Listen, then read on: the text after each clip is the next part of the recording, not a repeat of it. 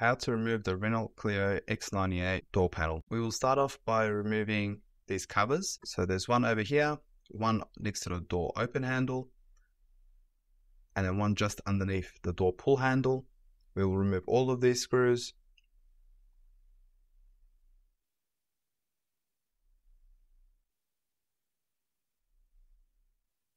Next on the side, there's a Torx screw we need to remove. And then to the bottom, there is two Torx screws that we'll also need to remove. And for this part, there's clips on the inside of the door panel. And you'll need to get in between with a plastic tool in between the door panel and door itself and pull the bottom out first and then slide it upwards. Keep in mind these clips can break. I will show you when I take the door panel off. So get in between. Do not use metal tools. You, don't, you do not want to damage the door itself or the door panel. Get in there with either a tool or your fingers and you need to pull the bottom out as you can see and then you're going to slide it up to detach it from the window seal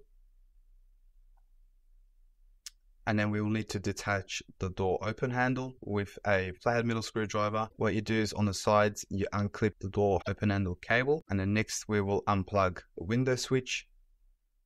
So here is our door panel, and over here, these white ones are the clips. Some of them broke, some of them are actually um, on the door itself. One trick is make sure you get these clips that are not broken from the door and put them back onto the door panel. It makes refitting easier.